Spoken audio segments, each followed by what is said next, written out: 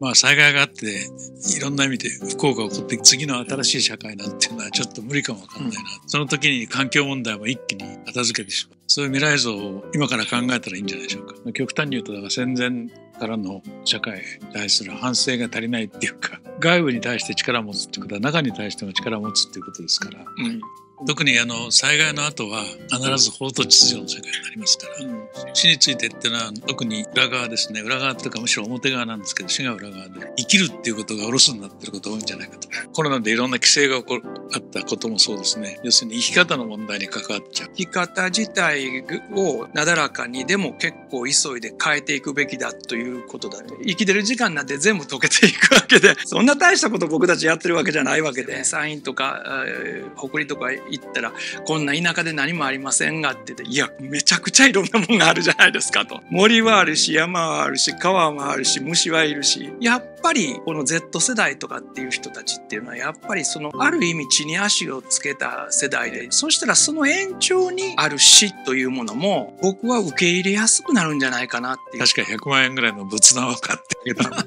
そしたら治ったって言ってすごい日本社会の死と再生の問題でもなんか僕の感覚では魚が美味しくて水がきれいなとこは幸福かもしれんとか。どうやって自分に余裕を持たせるか。やっぱりさみんなが悟んないといけないんですね。確かに。いや僕も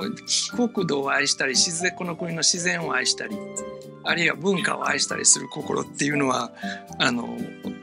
すごい素晴らしいことやと思うんですけど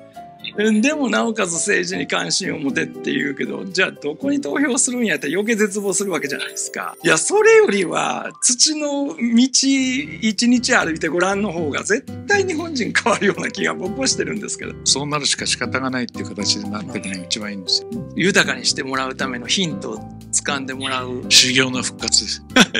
修行の復活本当そうですね。生と死をこうもう一度和合するための修行という。日本の未来を。日本について日本を見る。日本像